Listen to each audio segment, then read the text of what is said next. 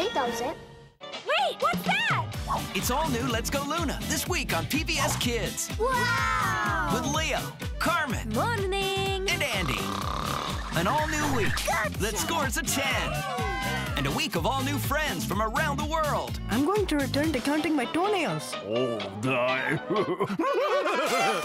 Don't miss all new adventures of Let's Go Luna all this week on PBS Kids. And watch Luna anytime on the PBS Kids video app. Come and play with us. They're playing. Yippee! They're exploring. Look at this bug I found. There goes the neighborhood. Daniel Tiger's Neighborhood, where life's little lessons come to life. Weekdays on PBS Kids or anytime on the PBS Kids app.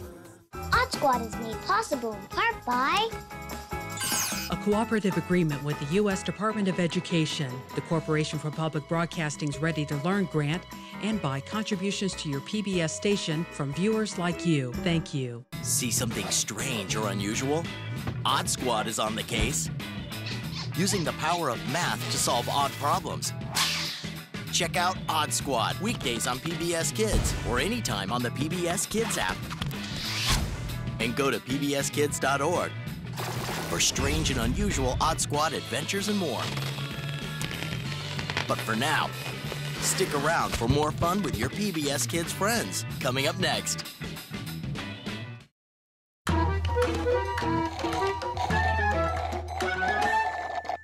EQT presents the PBS Kids Writers Contest.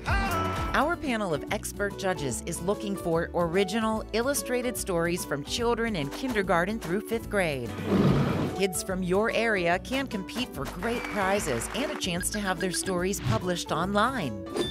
Right on. Go to wvpublic.org for more information and entry forms. Deadline to enter is March 31st. Brought to you by EQT and West Virginia Public Broadcasting. PBS Kids brings the fun. This is fun! This is fun. This is so fun!